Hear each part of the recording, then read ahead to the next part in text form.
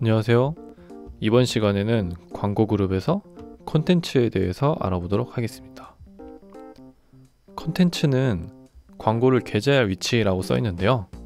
사용자는 이제 targeting할 사용자, 즉 이제 유튜브에서 내 영상을 보는 사람들이 어떤 특징을 가지고 있는지에 대해서 targeting을 하는 거였다면은 이제 콘텐츠는 유튜브 안에 있는 영상들이 어떤 특징을 가지고 있고 그 특징 중에서 나한테 맞는 특징을 선택해서 그러한 영상들에게만 내 영상을 광고를 노출시키겠다를 선택을 하는 거거든요.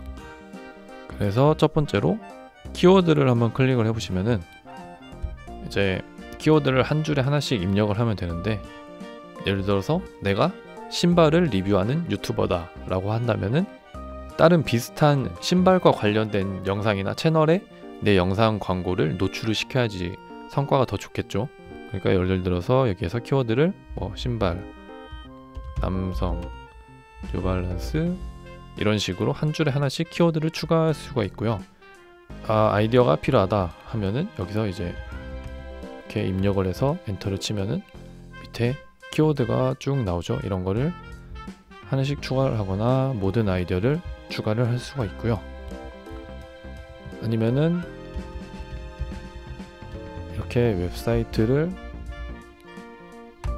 입력해서 엔터를 치면은 또 역시 키워드가 나오죠. 여기 중에서 키워드를 선택하거나 모든 걸 추가를 하면 됩니다